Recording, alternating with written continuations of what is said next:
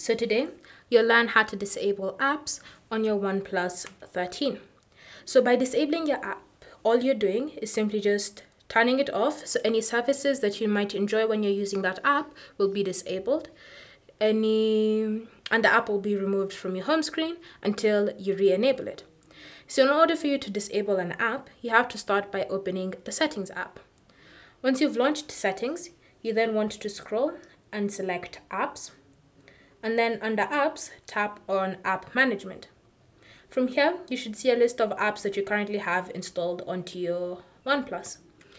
To disable an app, simply select it from the list.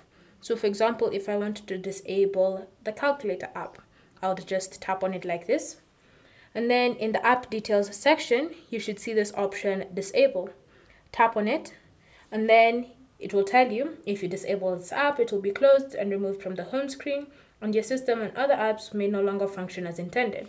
If so, if you still want to continue with the disabling process, just confirm by tapping on disable app.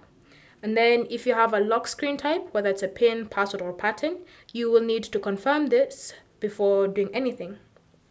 Once you've done that, you can see it's now switched to enable, which means we've turned it off successfully. So from here, when you try going to search for your calculator app, you should no longer be able to see it. And even when you search for it, it won't appear in the search results, meaning you've successfully disabled that specific app. You can always just go back and look for another app to disable if you want to. For example, Chrome, you can tap on it, select disable, tap on disable app, confirm your choice if it's enabled, and then that app will no longer be found on your OnePlus and any services that you were enjoying while using with that app enabled will also be turned off. And so that's how you can disable an app on your OnePlus 13. Thank you for watching. If you have any questions or comments, leave them down below and we'll get back to you.